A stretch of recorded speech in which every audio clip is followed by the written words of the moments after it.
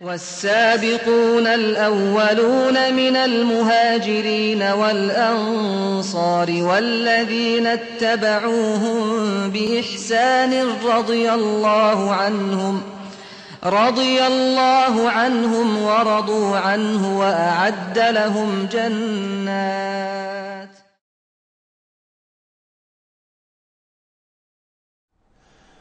بسم الله والصلاة والسلام على نبينا محمد وعلى آله وصحبه وسلم ما بعد Continuing on in our series of lectures, we began referring and sourcing and talking about the benefits of the Sunnah of the Messenger of Allah sallallahu alaihi wa ala alihi wasallam. And the second part of our lecture series, we mention the merits and the benefits of the companions of the Prophet Muhammad sallallahu alaihi wasallam, and we illustrated with the evidence from the Quran and the Sunnah of the Prophet sallallahu alaihi wasallam, and the some of the statements of the Salaf regarding the benefits of the companions of the Prophet sallallahu alaihi wasallam radiyallahu ta'ala anhum ajma'in, and that they are the source of Ahl Sunnati wal Jama'ah. They are the source and the foundation.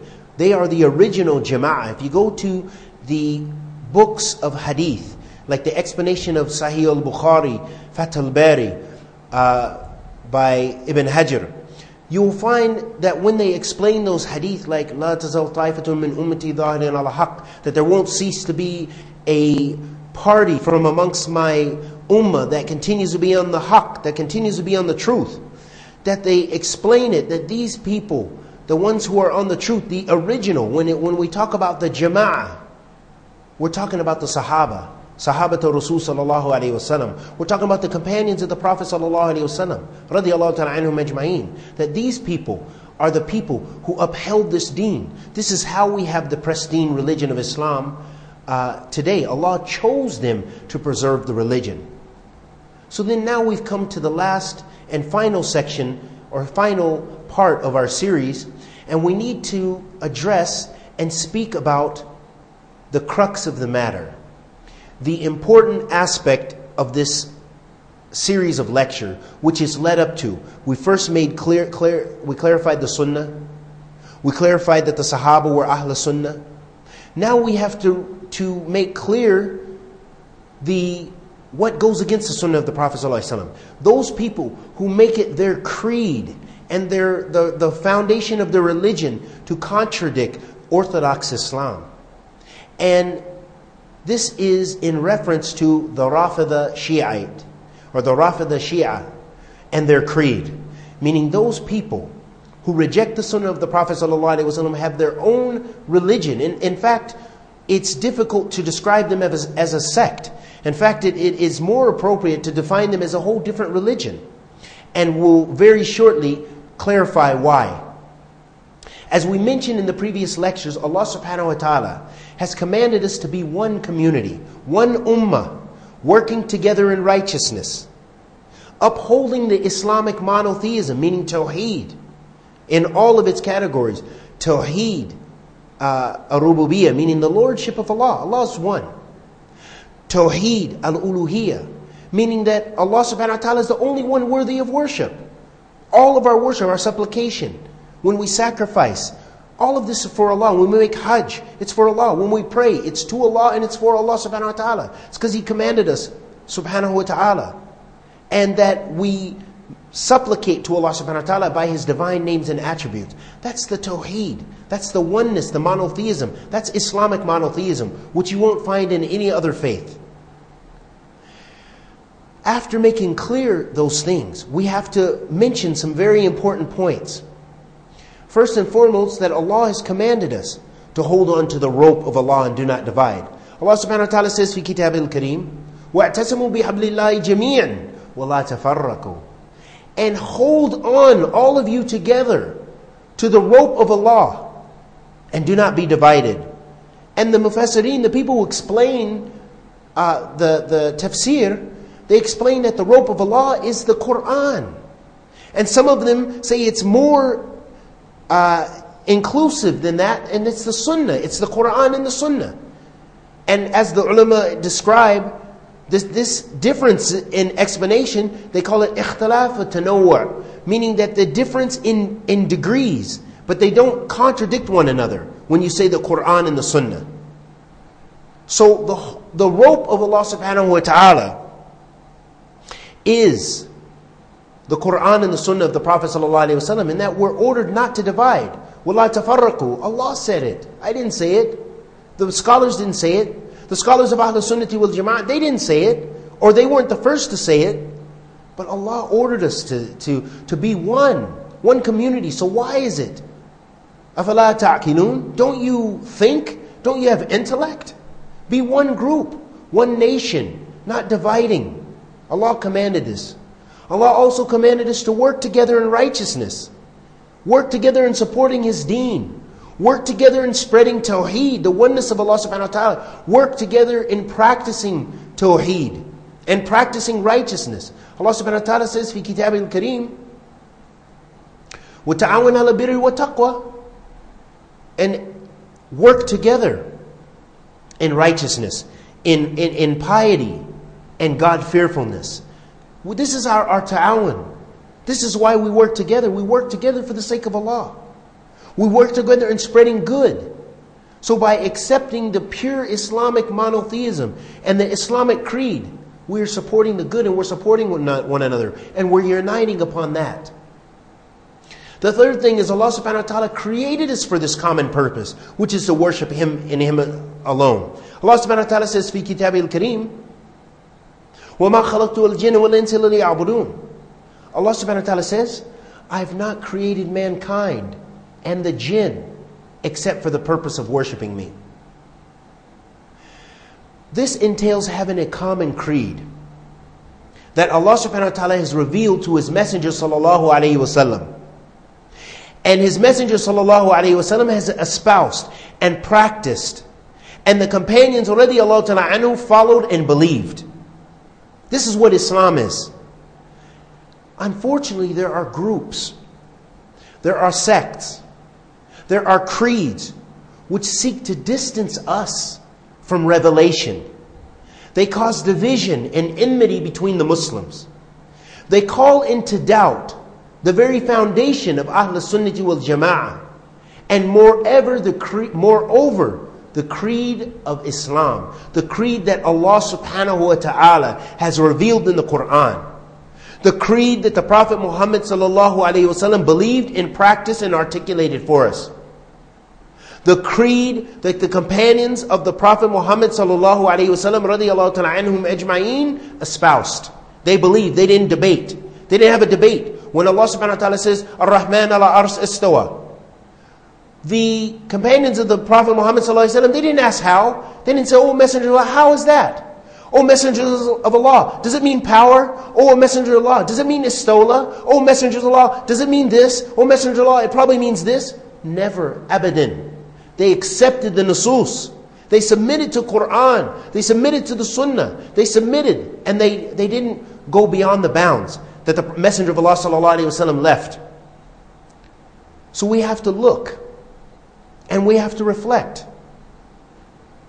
And when we reflect about the deviation that has struck our ummah, the divisions, as we mentioned in the authentic hadith of the Prophet ﷺ, where he said, افترقت اليهود على 71 فرقة وافترقت النصارى على 72 فرقة وستفترق هذه الأمة على 73 فرقة huh. The Prophet ﷺ said what? He said the Jews bro- broke into 71 sects, the Christians broke into 72 sects. My ummah would break into 73 sects, all of them in the fire except one. And from amongst those groups that have broken from the ummah of Muhammad ﷺ, at the head of these groups and sects is the Shia, the Rafida, the Twelvers, the Imamiyah, as, uh, as, as they refer to themselves and are referred to, and the other groups of Shia that hold a common creed.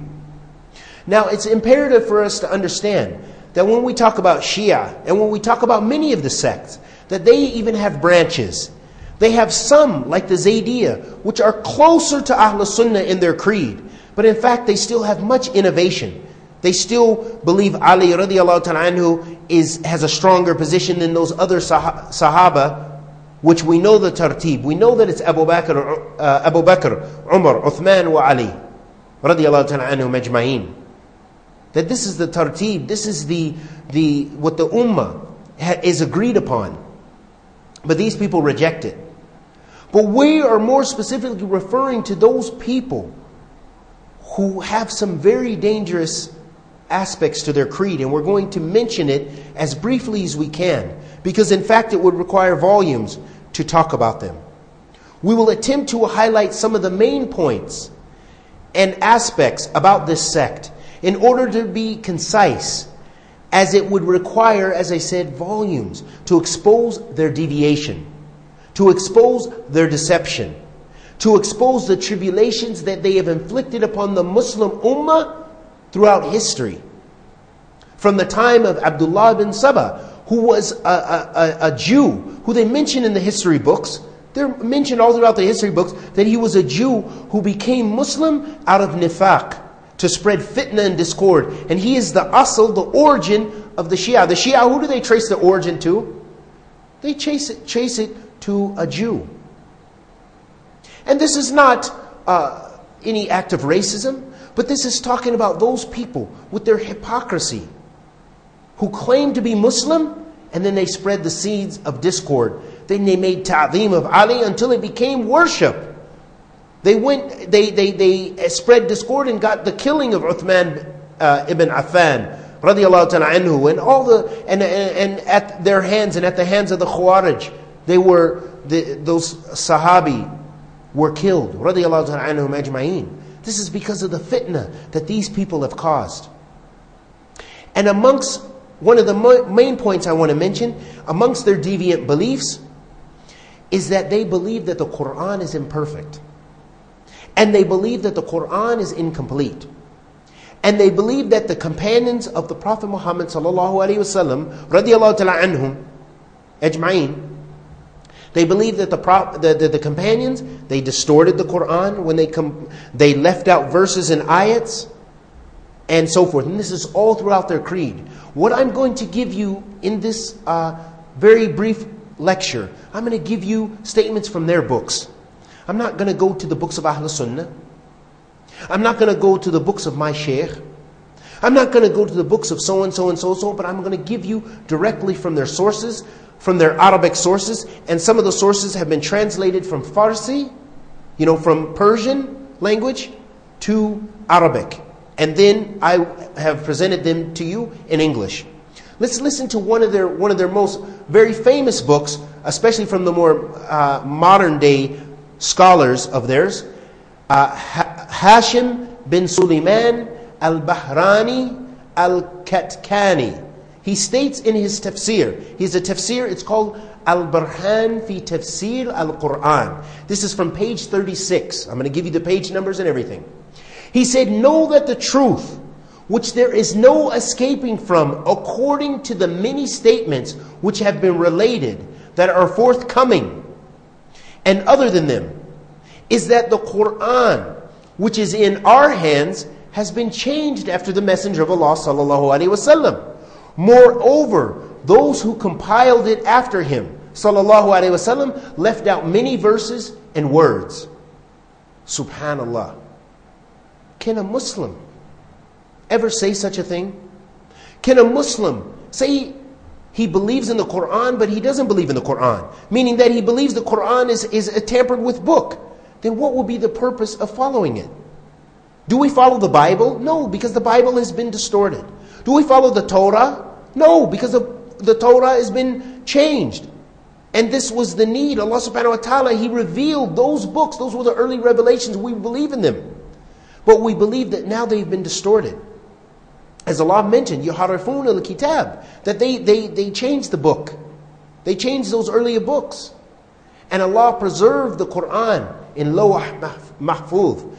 Fi lawhim mahfuz. As Allah subhanahu wa ta'ala mentioned, the Quran is preserved. But these people reject that. These people reject that. As we've just mentioned, one of their scholars, he said that there's no doubt that this is the truth. No one should, should disagree that the Quran, which is in our hands, has been changed after the Messenger of Allah. So now they're accusing the companions of the Prophet ﷺ of miscompiling the Quran and leaving out many verses and words. That's his very statement. And it's on page 36, by the way, in his tafsir. In a book entitled Basair ad-Darajat by Safar, he said, There is no one from the people who can say that he compiled the Quran as it was revealed except a liar. And no one compiled it and memorized it like it was revealed except Ali ibn Abi Talib and the Imams after him. Radiallahu ta'ala. La ilaha subhanaka inni kuntum min adhalimeen. Listen to this. Listen to this, these, these lies and statements, and I'm going to try to compose myself and be as knowledge based as possible. But let's analyze that statement. He said, There's no one from the people who can say that he compiled the Quran as it were revealed except who? A liar. And no one compiled it and memorized it like it was revealed except who? Ali ibn Abi Talib radiallahu ta'ala anhu. So they make and fabricate narrations to support their ideology, to support their creed. They want to make false statements about the companions of the Prophet sallallahu alaihi wasallam radiallahu ta'ala anhu majma'in, referencing companions of the Prophet ﷺ and attributing to them false statements. So they're saying that Ali anhu was responsible for compiling the Quran and he was the only one who memorized it exactly as it was revealed. And then the final statement he made and the Imams after him. So this helps to strengthen their creed. You know, these types of statements substantiate their false creed. And this is a, a sign of Ahl Bid'ah from the beginning, is that instead of going to the Nasus and then taking, extracting their Aqidah, extracting their fiqh, they make a, a statement in a premise, they precede the Nasus. Then they take the Nasus, they cut and paste to try to support their ideology. This is the affair of Ahl Bid'ah, Qadimin wa Hadithin, meaning from the, the earlier times up until now. And they use what? Their aql, their intellect, how, however limited it may be, to support what they believe, instead of going back to the Quran and the Sunnah of the Prophet. ﷺ. Listen to some of their strange interpretations in tafsir. In Tafsir Asafi by uh, Faid al-Kashani. And this is in volume 1, page 156.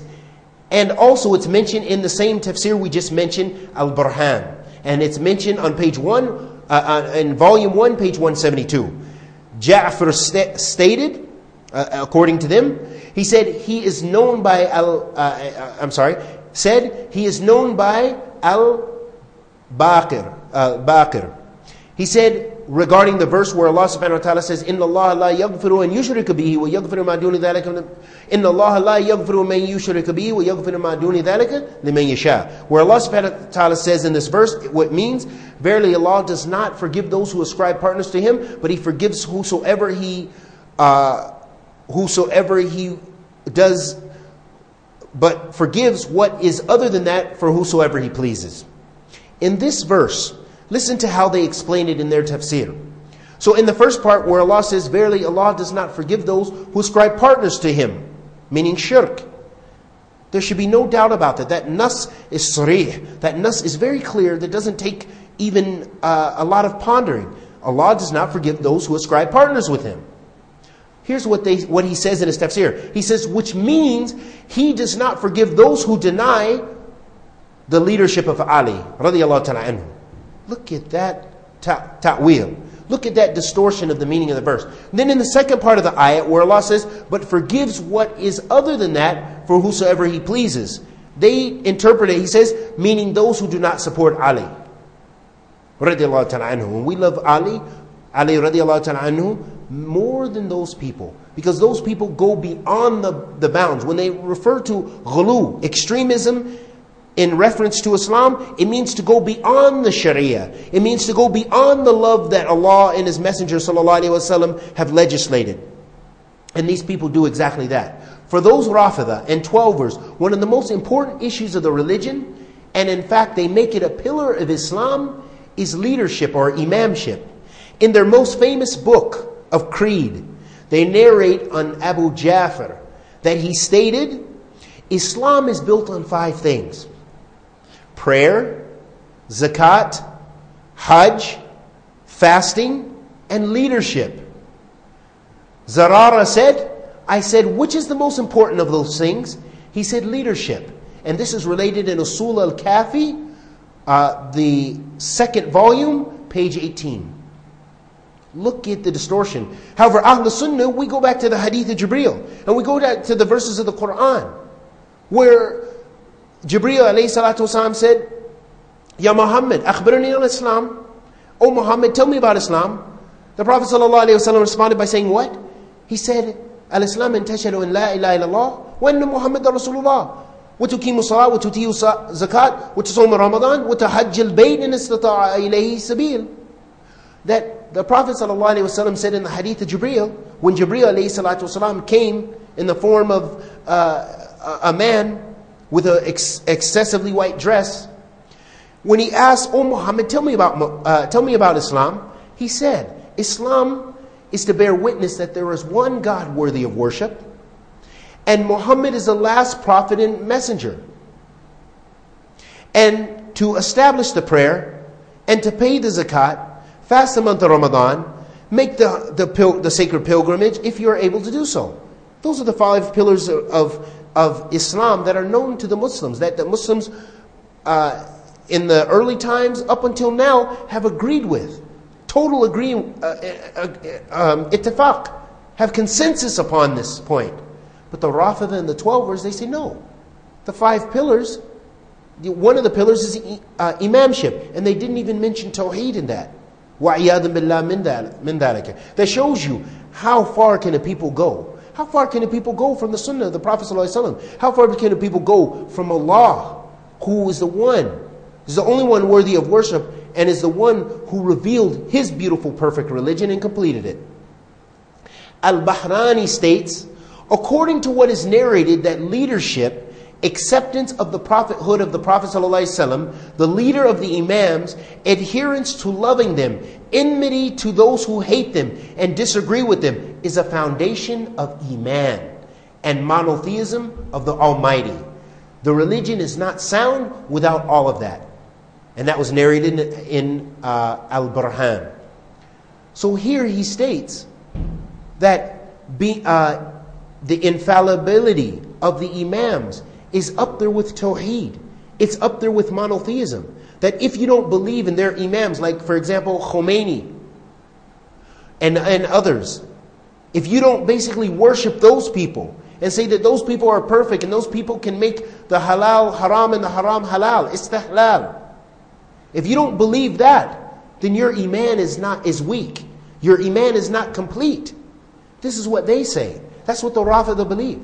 The Rafida believe their imams are infallible and that the whole of humanity and creation needs at least one of them to be present on the earth at all times. Their imam should be established on the earth. In, uh, in, in a book called Al Basair al Darajat, we mentioned it already. Abu Abdullah was asked, Will the earth remain without an imam? He said, If it was without an imam, it would melt. This is on page 508, by the way. In their most respected book, Al Kafi, there is a chapter entitled, all I had to do was go to the title, the, the chapter to show you the deviance in their creed. The chapter is entitled The Imams alayhim salam no knowledge of the past and future and that nothing escapes them. This is in volume 1, page 261. You look for yourself in Al Kafi. What kind of deviance is this? What kind of people could claim to know knowledge of the ghaib? They claim to know knowledge of the ghaib when only a little bit was given to the Prophet ﷺ. The Prophet ﷺ didn't know when the sa'a, didn't know when the in the hadith of Jibreel. أخبرني عن الساعة ما ما المسؤول عنه أعلم من السائل. The one who is being asked doesn't know more than the person than the questioner. That's what the Prophet said in the hadith of Jibreel. But these people claim that their imams are infallible and that their imams know the future and know the past. That nothing escapes them. That's entitled the chapter. Then you could just go with Kethra. You could go with so many narrations from them if you go to their books. But I think what we've mentioned is sufficient to prove our point. Another deviant aspect of this creed is that they view Ali radiallahu anhu as being infallible. And some of their texts view him and take him radiallahu anhu as being a part of Allah or sharing in his divinity and lordship. Amongst the countless fabricated narrations they attribute to the companions, radiallahu anhu, to substantiate their creed, are narrations such as what is found in Basair al-Darajat that we mentioned on page 81, on 80, uh, page 81, where they accuse Ali radiallahu ta'ala anhu of saying, this is their lying, filthy statements. Why do I say it's filthy? Because it's a lie. Lies are never clean. Lies are never good. And especially when you lie about the, the best of the, the, the ummah, the best of the nation. So here they, they have this statement, they accuse Ali radiallahu ta'ala of saying, I am the eye of Allah, I am the hand of Allah, and I am the side of Allah, and the door of Allah. In another narration is collected in Ilm al-Yaqeen. They have a book called Ilm al-Yaqeen by Abdullah Shabar. He narrates on Ibn Abbas radiallahu ta'ala anhu, and this is the kalam of our Shaykh, Shaykh Ibrahim al-Rahili, hafidhullah ta'ala. He says, he says, and he is free from such statements, meaning Ibn Abbas radiallahu ta'ala anhuma is free from the statements that Abdullah al-Shibr mentioned. He said, they, they claim that Ibn Abbas said, Verily Allah the Almighty on the day of judgment will appoint Muhammad sallallahu alayhi wasallam as the one who takes account of the prophets. And Ali radiallahu ta'ala anhu will be appointed as the one who takes account of all of creation. So here they've actually raised Ali radiallahu ta'ala anhu to the status of the Prophet, if not greater, because he takes account of all the creation. And the Prophets, alayhim salatu wasalam, were created. So they raise status. We know from their books, some of them hold Ali radiallahu ta'ala to be Allah. Some hold Ali to be, uh, they say, uh, the angel Jibreel made a mistake in delivering the revelation. It was supposed to be to Ali radiallahu ta'ala This is what they say. وَعِيَاذٍ بِاللَّهِ مِنْ ذَلِكَ there are countless quotes, statements, lectures, and volumes of books devoted to accusing, accusing the companions of the Prophet ﷺ, of apostasy. And I'm just going to suffice with one. But to illustrate this point, we'll suffice with one from Muhammad Baqir al-Majalisi, in which he states, this, is, this should be sufficient for us. And this shows you their, what is a soul, what is a foundation of their creed. Our asul of iman is tu'minu billahi wal malaikati wa kutubihi wa rasulihi wal yawm al-akhir. We believe in the Allah. We believe in the angels. We believe in the books. We believe in the uh, the prophets. We believe in the uh, divine destiny, the qadr, the khair and the shir. This is what we believe, the six pillars of iman. But these people, as a foundation of their creed, they believe that the Sahaba, most of the Sahaba, except for a few, were, were disbelievers, became apostates, and were people of of uh, innovation and people of uh, who had left the fold of Islam. After that, what do you need after that? And people of, of, of deception. They accuse them of being homosexuals. They accuse uh, Aisha radiallahu ta'ala of zina, of being an adulteress, wa'iyadin billah min dhalika. And she's free from that. And they're all free from that. Radiallahu ta'ala majma'in. And this is so hurtful and so evil. Our creed, here's what, what he said, uh, Muhammad al uh, Baqir. He says, Our creed regarding distancing ourselves is that we free ourselves from the four idols. They said four idols. He actually mentioned in Arabic, he said, sanam, meaning idols, things that you worship, statues, and so forth. He said Abu Bakr, Umar, Uthman, and Muawiyah, radiallahu ta'ala. And the four women, he said Aisha, Hafsa, Hind, and Umm Hakam, and from all their disciples and followers. And they are the evilest of Allah's creation on the earth, and that faith is not completed in Allah and His Messenger, and the imams except after freeing oneself from their enemies. And this is in a book called Haq al Yaqeen, page 519. billah min. Do you need anything else? It's sufficient from what they say themselves. They bear witness against the evil of their creed. So for reflect, beloved Muslims, on the creed of this sect. And understand the Jews and the Christians and the Buddhists respect your faith more than these people. The Jews, the Christians, the Buddhists, they respect Islam much more than these people.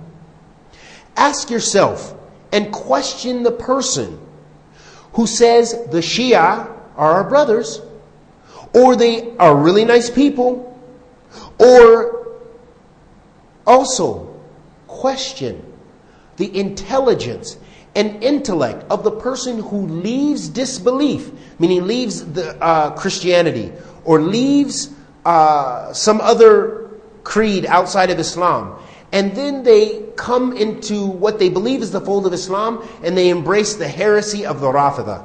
And I've known many people personally who were once people even, but they were ignorant, even of the Sunnah. They, they, they adhered to the Sunnah. They used to love the Sunnah of the Prophet. ﷺ. They used to love the lectures of the people who spread the Sunnah. Then they traveled to such and such country and such and such place. They get around the people and they weren't firmly grounded and they changed their religion to become Rafida. They come back praying in strange ways. They pray by themselves. They don't pray with the Muslims.